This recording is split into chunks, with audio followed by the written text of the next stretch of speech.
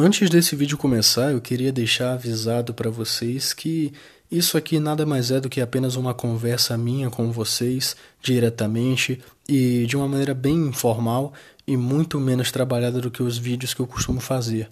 Eu só estou dizendo o que eu gosto e o que eu não gosto de Kimetsu, estou falando de algumas coisas que são trabalhadas ali, que eu gosto ou não, enfim, não tem um aprofundamento tão grande. Eu preferi, eu optei por não fazer um roteiro para esse vídeo. Então, espero que vocês gostem desse formato. Eu estou voltando dessa forma para mostrar para vocês que eu quero voltar a me enturmar com vocês e falar de uma maneira mais aberta. Então, é desse jeito que eu estou voltando, sem um roteiro, com um vídeo de mais de 30 minutos, falando do que eu gosto e do que eu não gosto de Kimetsu. Espero que vocês gostem do vídeo. Se não gostarem, me digam por que não gostaram. E, enfim, é isso, pessoal. Sejam todos muito bem-vindos a esse canal. Já tem uns dois meses que eu não apareço por aqui, mas hoje a gente volta para poder falar um pouco sobre Kimetsu no Yaiba. Meu nome é Marcelo e esse é o canal Azil, onde vocês podem me chamar de Azil, me chamem como quiserem, seja Azil ou Marcelo. É, o link para as minhas redes sociais vão estar aí no comentário fixado do vídeo. E bom, Vamos lá então falar sobre Kimetsu no Yaiba. Kimetsu no Yaiba é uma série japonesa de mangá shonen escrita e ilustrada por Koyoharu Gotoge. O mangá foi serializado de 15 de fevereiro de 2016 a 18 de maio de 2020, totalizando assim 20 volumes, com os seus capítulos sendo reunidos em todos esses 20 volumes pela editora Shueisha. É uma adaptação muito legal para anime que a gente teve aí, que foi feito pelo estúdio Ufotable, o mesmo estúdio que fez Fate e Kara no Kyokai, duas grandes obras do Naso e do Nasoverse, que muita gente conhece, enfim, Fate é conhecido por muita gente. Foi através desse anime de TV de 26 episódios que Kimetsu no Yaiba se popularizou e ganhou uma fama absurda. Lá no Twitter tinha vezes que estava em Trending Topics e principalmente o episódio 19 conseguiu entrar no Trending Topics do Twitter e todo mundo conheceu Kimetsu no Yaiba a partir desse episódio 19. Então, ele estourou bastante e a gente conheceu, nós fomos apresentados a Kimetsu no Yaiba dessa forma. Eu acho que a grande maioria das pessoas começou a assistir a partir do episódio 19. Eu tentei ver no início da, da, da temporada que ele lançou, se eu não me engano foi em, na temporada de abril de 2019, e eu tentei ver, eu comecei a assistir, eu gostei do primeiro episódio, aí eu vi o segundo, eu não gostei, e eu resolvi dar uma dropada. Mas quando eu vi que muita gente estava querendo assistir de novo, eu falei: olha, isso aqui provavelmente deve ter alguma coisa interessante. Então, eu vou assistir. E eu assisti todos os 26 episódios. Foi uma experiência bem legal. Eu me diverti. Eu não posso dizer para vocês que eu não me diverti porque eu me diverti. Inclusive, tem uma review aqui no canal sobre o anime de Kimetsu no Yaiba, mas essa review provavelmente não é tão legal assim para poder vocês verem, mas se vocês quiserem, vai estar aí no link na descrição do vídeo, ok? O link vai estar na descrição do vídeo para vocês que quiserem dar uma olhada naquela review. Eu tinha dado nota 10 pro anime porque eu me diverti bastante, depois eu dei uma olhada em algumas coisas aqui e ali, eu vi que essa diversão toda não passava de um espelho, e infelizmente o anime só merece nota 7 na minha opinião.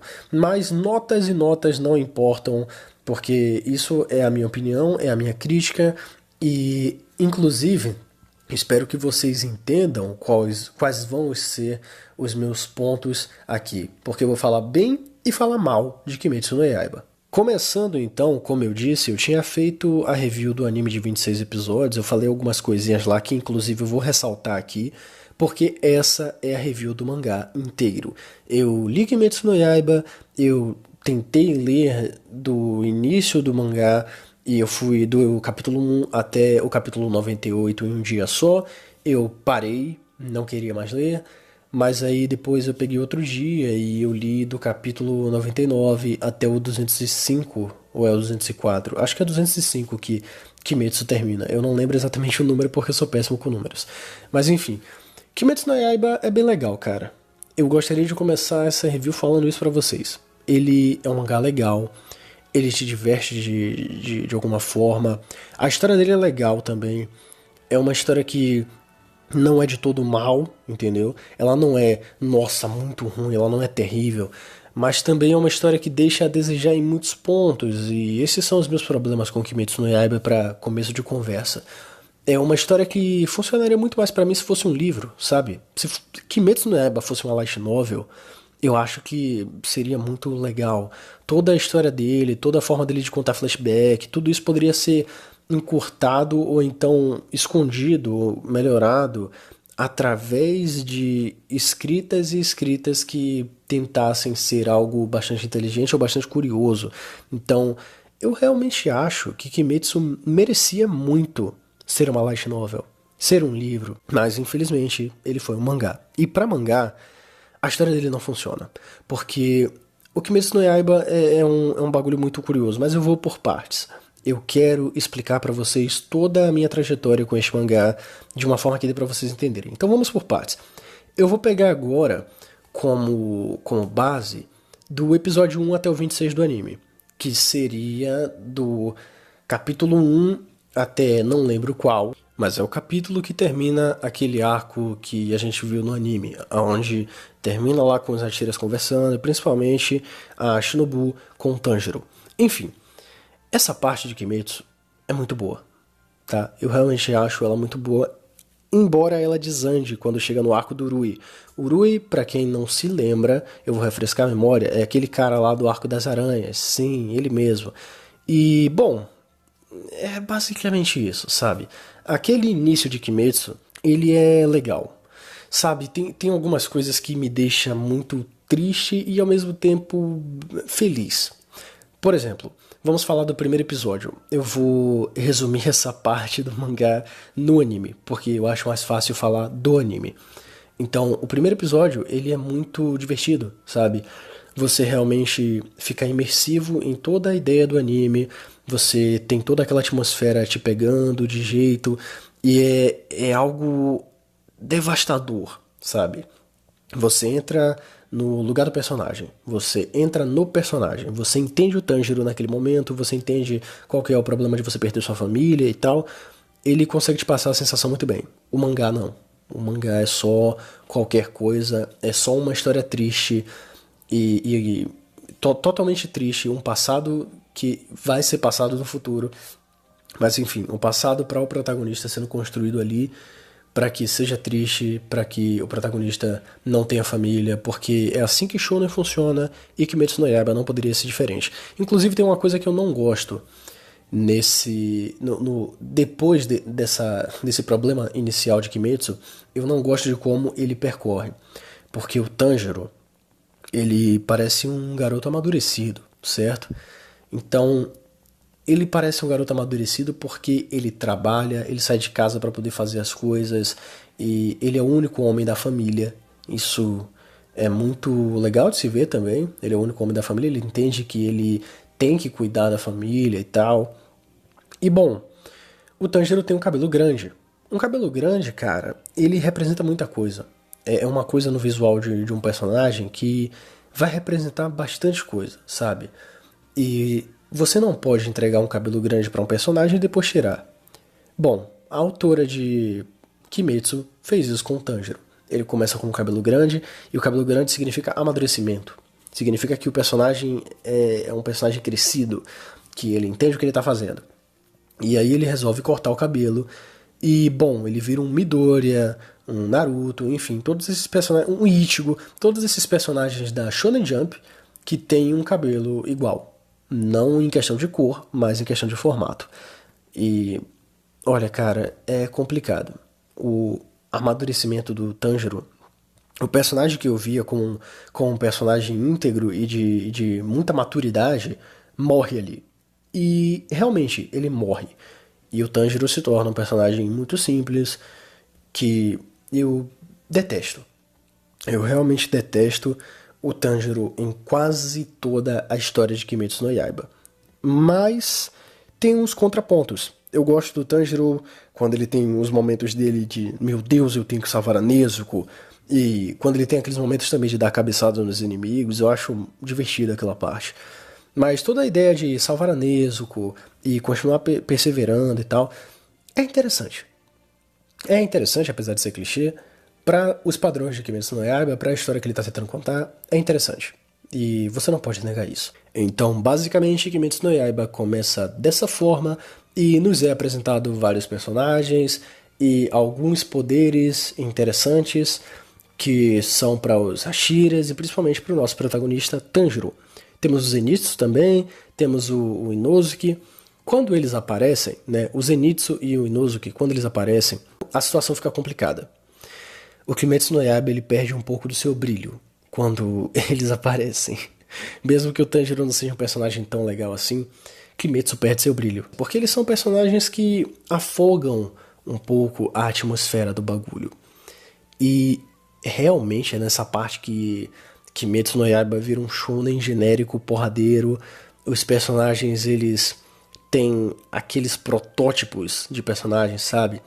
O Zenitsu é o medroso, o Inosuke é aquele cara que sempre fica treinando, quer ser forte, quer ser maromba. O Tanjiro é o moleque que quer salvar todo mundo, porque salvar é legal, todo mundo tem que ser salvo, as pessoas importam. Inclusive você vê isso quando os demônios morrem, mas a gente já vai chegar lá. A gente já vai chegar lá, eu não quero apressar muitas coisas, porque eu quero que vocês entendam todos os pontos. Então existe esse protótipo de personagens dentro deles três. E quando tudo isso se junta, eu não consigo engolir isso, sabe? E é aí que começam as repetições de arco. Cada arco de Kimetsu aí, a partir deste momento, é complicado, porque eles só vão ficando piores. Tem alguns que melhoram, e inclusive o penúltimo arco de Kimetsu é bom pra caramba.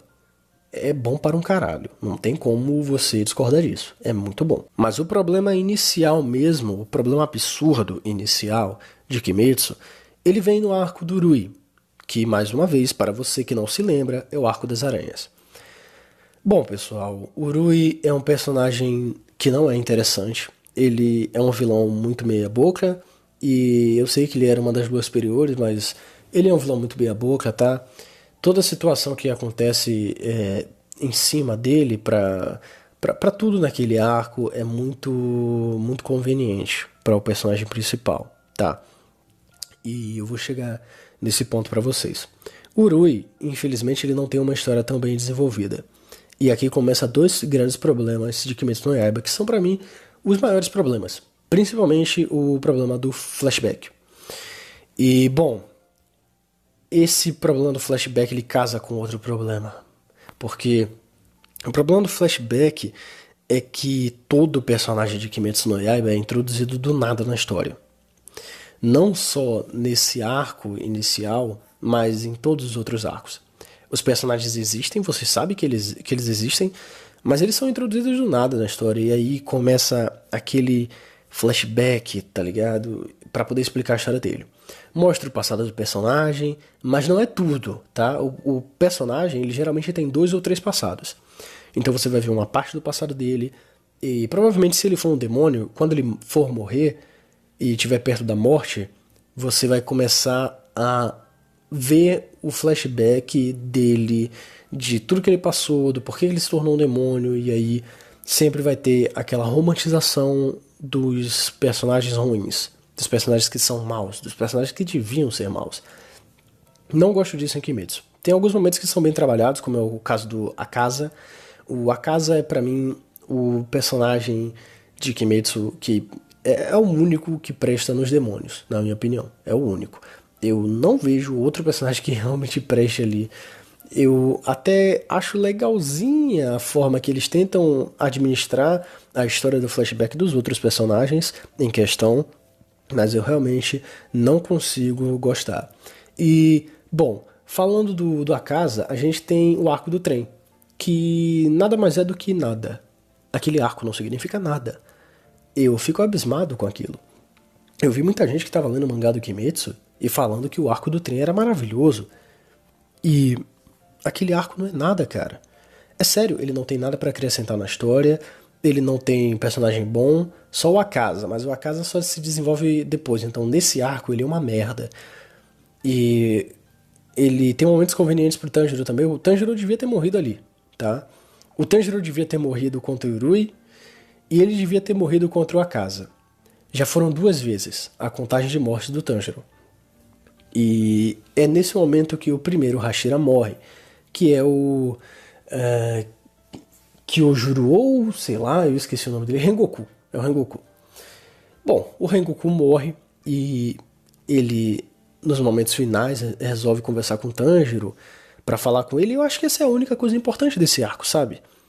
O Rengoku tentando explicar alguma coisa sobre a vida pro Tanjiro, dizendo que ele precisa proteger as pessoas e tal. Parece interessante, mas no final das coisas o Tanjiro meio que caga para isso. Ele fala que ele vai levar isso em consideração, mas ele meio que deixa pra lá, sabe? Ele não leva isso adiante.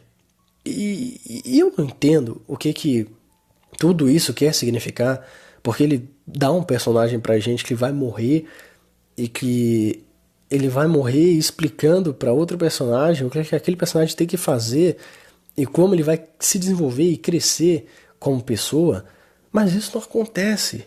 Então, você trouxe um personagem agora e você matou esse personagem agora para explicar algo pro personagem principal e o personagem principal não entendeu, sabe? Por quê?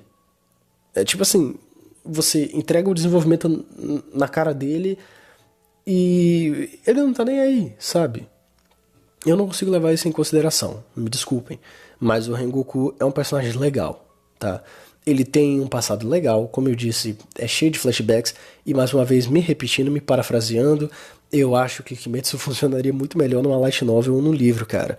Essa parte toda dos flashbacks seria perfeita para poder você descrever em linhas e linhas e páginas e páginas, e o negócio ficar tão bonito, tão formal, tão bem escrito. Seria tão legal, mas em mangá isso não funciona, é chato pra caramba de ler. Me desculpem, mas foi chato para mim. E é aí então que a gente chega no terceiro arco de Kimetsu no Yaiba, que é o arco do puteiro, se é que podemos chamar assim. Bom, as pessoas costumam chamar assim. Esse arco, ele basicamente é o arco do Uzui, se eu não me engano é o Uzui, é o cara que é o Hashira do som. E, bom, esse cara, ele basicamente é casado com três prostitutas. É, é, é isso, ele é casado com três prostitutas e elas estão espalhadas em casas de. Em, em, enfim, estão espalhadas em bordéis. E aí o Tanjiro, o Zenitsu e o Inuzuki são sequestrados basicamente pelo Uzui para poder lutarem em prol da, da, das mulheres do cara. Então eles vão lá no bordel e tal, e cada um se finge de menina. Essa parte foi bem legal, foi engraçada. Mas infelizmente existem os inúmeros problemas. Esse arco, ele, para mim, é, é, o pior de Kimetsu no Yaiba. É o pior se você não contar o próximo. O próximo também, ele é terrível. Mas esse arco aqui, ele tenta fazer um negócio que me desagrada bastante. E eu tô falando disso na luta. Na luta, porque toda a história envolvente não existe, porque não tem história. O Uzui, é um personagem que é entregue pra gente de maneira foda-se. Ele não tem uma história, ele não tem um, um, um porquê de realmente estar tá aparecendo ali. O único porquê é: eu tenho três esposas, elas estão espalhadas, eu quero salvar elas. Então, basicamente, nessa linha de raciocínio, ele vai lá, leva o Tanjiro, o Zenitsu e o Inuzuki para poder salvar e tal. E, enfim, não tem muita coisa, não tem muito desenvolvimento mas a corrida pela coisa até a batalha final desse arco chegar é muito interessante, sim, é muito bem trabalhado. É um stealth muito bem coreografado. Eu gosto muito dessa parte, ok? Eu acho muito legal. Mas a luta em si é uma merda, cara. Desculpa, desculpa usar essa palavra, mas ela não é bem feita. É muito safada. O, o, o roteiro é muito safado, entendeu? é, é muito complicada a forma como tudo é empregado ali. Porque os personagens se encontram convenientemente e o Tanjiro, nossa, o Tanjiro luta tanto nesse arco que eu não entendo como que funciona o Tanjiro. Porque já no, já no início da luta, ele fala: Nossa, eu estou fraco. E bom, ele depois disso ainda luta por uns 10 capítulos ou 12 ou 15. Talvez 15. E ele luta durante todos esses capítulos e continua de pé. Não exatamente de pé, mas ele continua vivo. ele devia ter morrido na segunda porrada, cara. Ele devia ter morrido na, na segunda tentativa de levantar. Mas ele continua ali, vivo e fazendo algumas coisas. Inclusive dando cabeçada. E nem a cabeçada que eu falei que eu achava engraçado e tal, eu gostei aqui. Porque o personagem não deveria se mover, sabe? Então ele devia ter morrido pelo menos umas 40 vezes ali, mas a autora deixou ele viver. E bom, ainda teve toda aquela parte do flashback dos, do, dos vilões, dos demônios, que eu não acho legal. E nesse arco foi realmente muito ruim. Depois disso vem o arco dos ferreiros, que para mim parece a mesma coisa do arco do puteiro. Ele é muito complicado. É, eu vou chamar de arco do bordel, tá? Arco dos bordéis. Enfim, o arco dos ferreiros é pior, talvez, ou mais emblematicamente pior do que o arco dos bordéis. Ele possui sistemas para poder funcionar que são praticamente idênticos. E infelizmente isso não me pega, sabe? Isso não me prende. Eu não gosto de ver esse tipo de coisa acontecendo. Então a, ainda tem a luta que rola entre o, o moleque lá, que, que se não me engano ele é um Hashira, e contra um demônio também, que, pelo amor de Deus, como que aquilo ali é uma lua superior, sabe? E eles ficam discutindo como se fossem crianças de terceira série, ali, naquele momento, e eu só queria que aquilo tudo acabasse porque estava muito chato. E aí, quando tudo tá muito chato, eles começam a fazer isso, e fica mais chato ainda. Eu fiquei triste, mas enfim. Esse arco dos ferreiros é interessante por uma coisa. Ele traz o Genya, o Genya é um personagem que ele é bom e ruim ao mesmo tempo. Ele é bom nesse arco dos ferreiros, apesar do arco ser ruim. Mas o Genya é um bom personagem. A gente descobre que ele come demônios para poder tentar continuar ali e tal, para poder tentar sobreviver, digamos assim, e ter mais força e continuar sendo um exterminador de demônios. Né? Então ele é um cara que se suja pelo bem, digamos assim toda a ideia de construção de background dele com o irmão dele, que é um Hashira, é muito interessante, é muito legal. Você entende por que, que o Hashira é filho da puta e você acaba gostando dele. E você gosta do Genya também. E tudo isso se desenvolve muito mais no arco que vem depois do, do próximo arco que eu vou falar. Então deixa eu falar logo do próximo arco, que é o arco do treinamento. Esse arco é bom, tá? É um arco bom ele consegue treinar o Tanjiro, o Inosuke e o Zenitsu de uma forma bem legal. Tá? Eu não tenho muita coisa para poder falar sobre esse arco, eu só, eu só acho que tudo ali está bem amarrado, bem estruturado, eles conseguem sim treinar os personagens de uma maneira muito legal. E depois do arco do treinamento a gente vem pro penúltimo arco de Kimetsu no Yaiba, que para mim é um arco muito bom.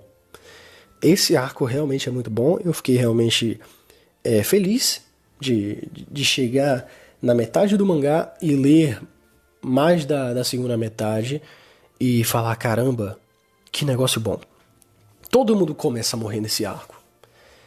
Esse é o interessante. E é por conta desse arco, principalmente, que eu vou falar pela terceira vez aqui que Kimetsu devia ser light novel, ou livro, sabe? É muito flashback. Funcionaria melhor lá, cara. Mas enfim, esse é o arco em que o chefe dos Hashira morre e o Muzan está tentando evoluir ali dentro. Todos os Hashiras estão ali dentro lutando pela sobrevivência. É, todas as pessoas estão ali também lutando pela sobrevivência. Todo mundo que está envolvido na, na ordem dos exterminadores, demônios, tá todo mundo ali naquela loucura, naquela bagunça, naquele amontoado de, de, de criatividade. E eu acho tudo aquilo muito legal toda a escolha de deixar todo mundo preso ali durante quase toda a metade do mangá é sinistro. É realmente muito bom. Eu gosto muito da ousadia dessa autora. Ela é ousada demais, cara. E isso me deixa muito feliz. Ao contrário dos dois arcos, dos três arcos anteriores, na verdade, que eu não gostei nem um pouco, só gostei do arco do treinamento. Bom, esse daqui é louvável. Ela fez muita coisa legal. Ela estrutura muito bem os personagens, amarra muito bem as histórias. A história do Akasa não é ruim de, de se acompanhar. A luta dele contra o Tanjiro e o Tomioka é muito interessante de se acompanhar também. você acaba criando afeição por muitos Hashiras que tem ali, acaba criando afeição por alguns demônios, e principalmente pelo Akasa, que é o melhor que tem. Não tem como você não criar afeição por ele. Ele é um personagem que realmente presta, e ele é o único que você realmente olha e fala: olha, a romantização desse aqui valeu a pena, sabe? Pelo menos foi assim que aconteceu comigo. A primeira luta e morte importante que tem ali é da Shinobu, né? Com aquele Hashira, Hashira não, com aquele com aquela lua superior que é a primeira de todas, se eu não me engano. E pô, foi muito legal, cara. Na moral, eu gostei muito daquilo ali. Eu gosto muito da Shinobu. Acho que ela é uma personagem muito bem construída. Ela não precisou de um passado para poder ser bem construída. Ela é uma personalidade de, de feminilidade forte, se é que eu posso dizer assim ela não é uma mulher de sexo frágil, ela é uma mulher muito bem representada ali. Na verdade, todas as personagens femininas são muito bem representadas, eu adoro todas elas. E eu acho que representação feminina tá muito impecável aqui, até porque, né, foi feito por uma mulher. Ela sabe o que faz. Eu gosto muito da ideia, principalmente da Rachira do Amor, porque isso foi apresentado lá no Arco dos Ferreiros, que eu acabei esquecendo de falar para vocês. Mas foi apresentado no Arco dos Ferreiros que ela simplesmente só entrou ali porque era uma mulher forte e tratada pelos outros como se fosse uma escória, porque aparentemente mulher tem que ser fraca, sabe? É, é uma parte muito séria para mim, porque trabalha-se ali o tema que fala sobre a desigualdade social, que é um bagulho muito sério, sim, tá? Mulher é tratada como se tivesse que ser dona de casa, varrer chão, fazer comida, é, cuidar das crianças, nunca trabalhar, né? Enfim, tem todo esse estereótipo que é errado, tá? É errado pra caramba. E a gente vê isso retratado na Hashira do Amor. E ela é uma personagem muito legal. Você vê que ela só tá ali porque ela foi discriminada e porque ela sabia que dava pra poder salvar os outros e também porque ela simplesmente queria se casar. É, ela só queria se casar. Coitada. Porque tudo que acontece ali, meu Deus. E é exatamente desse ponto do arco do ferreiro, em cima da rasteira do amor, e inicialmente do arco das 12 luas superiores que as coisas começam a andar e você começa a entender qual que é o eixo principal da história, o que que a autora está tentando passar. Você começa a entender que não é só uma briga, uma porrada desenfreada, sabe? Eu acho isso interessante. Ela começa a trabalhar o tempo todo como os personagens vão se comportar em algumas coisas aqui e ali.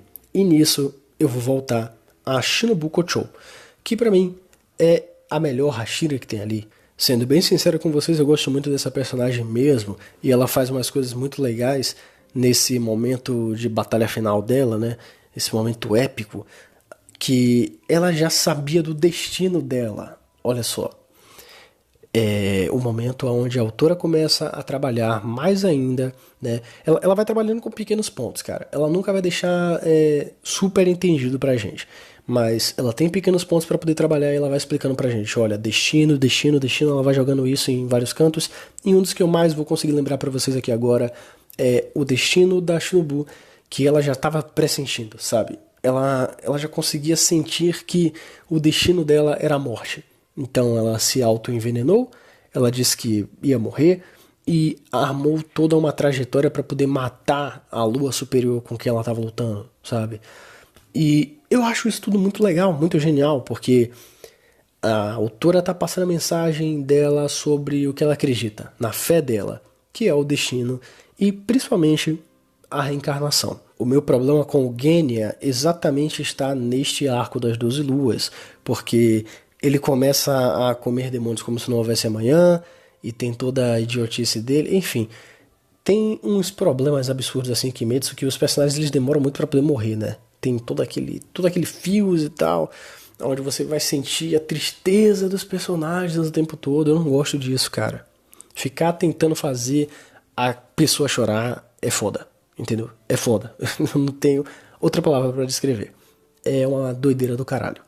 Então, para poder resumir mais para vocês a parada que acontece e a minha opinião da de Kimetsu, com todo esse trabalho absurdo de personagens, de cenário, de batalhas, alguns flashbacks, nem todos são tão bons assim, mas alguns flashbacks, enfim, o Musan acorda. O Musan acorda, ele desperta, ele desperta totalmente evoluído, cheio de boca no corpo, o bagulho é louco, você olha assim e fala, caramba, vai pesar agora.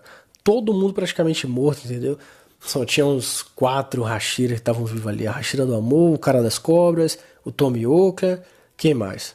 Acho que era só eles, né? Eu não me lembro de outro não, mas talvez tivesse outro. Mas enfim. A briga final começa. E esse é o arco final de Kimetsu no Yaiba. O arco final de Kimetsu no Yaiba é o confronto contra o Muzan, que ele é bem criativo, mas infelizmente ele peca em muitas coisas. É, o Tanjiro tinha que ter morrido diversas vezes ali para começo de conversa. Porque vocês já sabem, né? O protagonismo e a conveniência reina em cima desse personagem absurdamente. O Zenitsu também devia ter morrido, o Tanjiro também devia ter morrido, mas os outros personagens eles vão morrendo. Sim, eles vão morrendo. E isso é muito legal de acompanhar. Toda a luta contra o Muzan é interessante. Mas o arco ele é muito forçado, sabe? O Muzan podia ter matado todo mundo de uma vez só. E aí toda hora fica vindo frasco da Tamayo e dizendo que, que, que esse era o destino e tal. Olha, essa parada de destino foi legal até certo ponto. Porque no Dashinobu, ok, foi só uma coisa, sabe? O cara devorou a Shinobu, ela tinha botado veneno no corpo dela, ok. Mas a Tamayo fazer um monte de frasco com antídoto e veneno e ter tudo isso para poder usar só na batalha final, eu, eu, não consigo engolir isso, sabe? Parece que a autora só tá criando as coisas naquele momento para que essas coisas aconteçam naquele momento para salvar os personagens e não adiantou muita coisa, né? Porque ela viu que não dava para fazer mais nada. E ela fez uma briga psicológica do Tanjiro com o Muzan. Né? Quase que o Tanjiro foi possuído pelo Muzan ali no final e tal, porque ele conseguiu vencer o sol. Eu acho isso muito simbólico, eu não entendo muito de simbolismo, mas eu acho isso tudo muito simbólico do cara que conseguiu vencer o sol e ele é mais do que a natureza, ele é um ser perfeito, sabe? Enfim, tinha toda essa, todo esse simbolismo ali que eu não peguei muito bem, mas eu acho que a ideia tá por aí. Por fim, a gente tem então o final de Kimetsu no Yaiba, onde a gente viu os personagens como eles ficaram depois da luta, e principalmente no último capítulo a gente tem a reencarnação dos personagens nos dias atuais. Isso é muito interessante de ver, sabe? É muito interessante de ver como que os personagens ficariam se eles tivessem reencarnado, e principalmente muito interessante de ver que a autora ela conseguiu concluir a ideia dela de passar que destino é real e de que reencarnação é real, porque essa é a crença dela e o mangá dela é basicamente sobre isso. Desde o início isso estava sendo trabalhado de alguma forma. E, bom, é isso, meus amigos. Por fim, vi muito mais problema em Kimetsu no Yaiba do que acertos. Tem muita conveniência, tem muitos personagens que não são bem desenvolvidos, a história é lenta, é chata em muitos momentos. Isso eu tô falando de mim, tá? Porque é muito flashback toda hora, de dois em dois capítulos ou de três em três capítulos tem flashback. Toda a história é contada através de flashback, não existe um, um, uma linha de raciocínio dos momentos atuais. Então você o tempo todo vai ver flashback, é uma leitura bem cansativa e enfim. Minha nota final para esse mangá foi 6/10, porque eu acho que a arte é muito incrível e tem alguns momentos em que ele diverte, principalmente o arco contra as 12 luas, que é um arco muito bom. Eu sei que essa review ficou muito grande, eu sei que ela não foi tão informativa, tão explicativa, mas tá aqui para vocês toda a minha ideia de Kimetsu no Yaiba, do que, que eu gostei, do que, que eu não gostei. Enfim, eu gosto desse final dele sobre reencarnação, é muito bom. Eu simplesmente adoro, para mim esse foi o melhor capítulo de Kimetsu no Yaiba inteiro. Foi o 205, se eu não estou enganado. E é isso, meus amigos. Eu vou ficando por aqui. Me esperem no próximo vídeo. Eu vou tentar ser melhor no próximo vídeo. Eu preferi pegar Kimetsu no Yaiba para falar agora, porque Kimetsu no Yaiba era mais fácil. Eu já não tinha realmente muita coisa para poder falar. Eu só precisava falar do que eu gostei e do que eu não gostei. Então, é isso. Um grande abraço para todos vocês. Até o próximo vídeo. Falou.